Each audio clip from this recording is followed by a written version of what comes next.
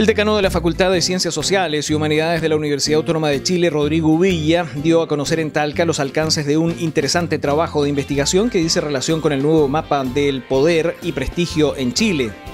El cúmulo de conclusiones de dicho trabajo fue dado a conocer en el auditorio Talca de la Casa de Estudios Superiores. Y el objetivo es poder, eh, como universidad, analizar, ¿no es cierto?, desde la perspectiva de las ciencias sociales, temas de coyuntura. El estudio, que considera los principales actores políticos y sociales de nuestro país, contempló la selección de un total de 14 cargos representativos de los liderazgos presentes en las principales instituciones del Estado y organizaciones sociales, entre otras esferas relevantes socialmente hablando. Aquí están representados todos los poderes del Estado, los medios de comunicación, los, eh, las organizaciones, ¿no es cierto?, ciudadanas, eh, las redes sociales, los sindicatos, las organizaciones empresariales. Cabe destacar que la Universidad Autónoma de Chile tiene como objetivo el desarrollo de procesos investigativos en las distintas áreas del conocimiento universal y en este marco se desarrolló en Talca la exposición de este estudio sobre el poder y prestigio en Chile, cuyo fin principal fue identificar y describir las percepciones de los chilenos sobre los niveles de poder y prestigio en nuestro país.